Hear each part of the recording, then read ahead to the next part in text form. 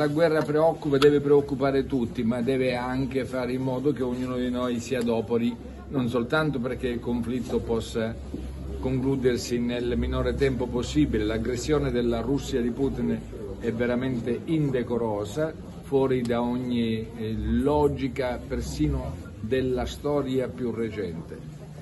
Al tempo stesso dobbiamo adoperarci per eh, ospitare i profughi, che sono tantissimi, soprattutto bambini, donne. In questo senso abbiamo già ricevuto ieri la nomina da parte del capo della protezione civile nazionale, lavoreremo, oggi abbiamo incontrato le nuove prefetture, abbiamo creato un momento di coordinamento, lavoreremo perché nessun profugo,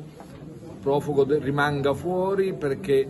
la domanda peraltro che arriva dalla Ucraina è molto più articolata di quanto si pensasse, ma in compenso la offerta dei siciliani è altrettanto generosa e solidale, il che ci lascia bene sperare affinché si possa porre in parte fine al calvario di questi cittadini che non hanno alcuna colpa se non quella di essere entrati nel mirino di una follia imperialista della quale eh, si farà carico la storia.